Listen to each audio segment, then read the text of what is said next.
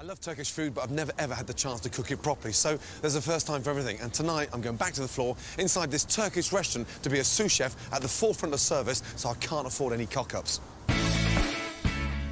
Kazan is one of London's finest Turkish restaurants with an incredibly busy dinner service.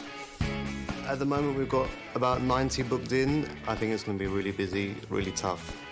The busy kitchen is run by head chef Hassan. He has exacting standards and a fiery temper. Sounds familiar? Apparently, Hassan's a man not easily impressed. Who is it? Gordon Ramsay.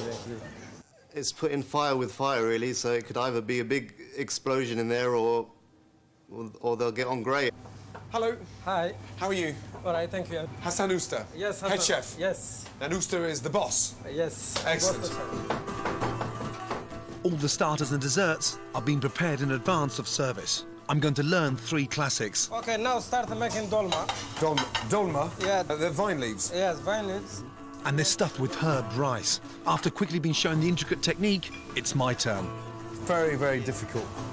Got to roll them nice and tight. They're going to be steamed after.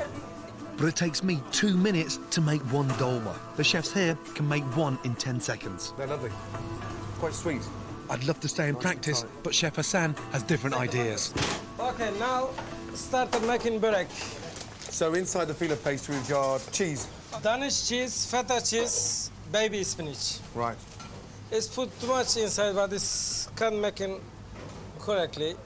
Less. No one can pick these skills up immediately. The chefs here take years to perfect their techniques, but only have a couple of minutes. Last one is okay.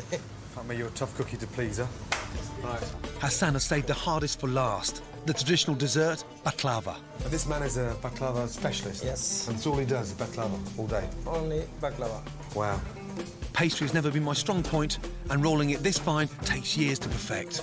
No pressure. No pressure, yeah? Just roll. Yeah. Okay, put a little bit corn flour as well, please. Yeah. With service looming, Hassan hasn't the time for me to make mistakes. Can you leave it? The gentleman is making it better, yeah? Can you start, please? Quickly. Blimey, he's got less patience than me. After rolling the sheets as thinly as possible, they're cut and layered into a baking tin. Look, that's just transparent. You can almost see through it.